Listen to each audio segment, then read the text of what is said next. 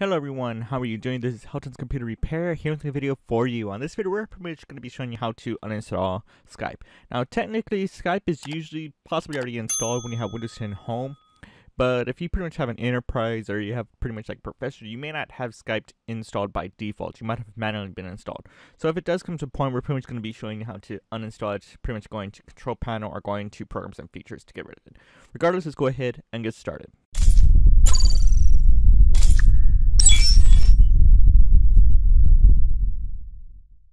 So first thing you do, pretty much go to start and you can go to settings and it'll take us to this layout.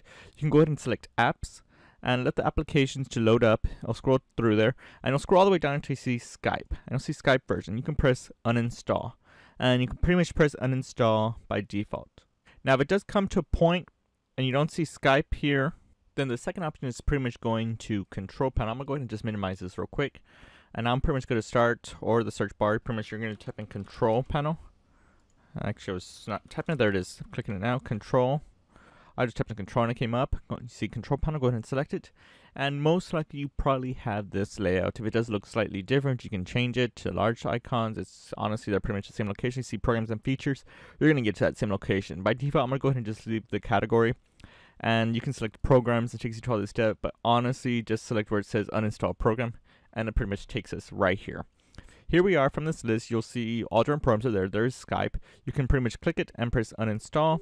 And I'll ask if you are prompted, and I'll pretty much say yes. And I'll ask you, are you sure you want to remove Skype and all of its components? I'm gonna go ahead and press no, because this is only just in case if it doesn't want to show up. It does happen. It does happen sometimes by going to settings for this, for it.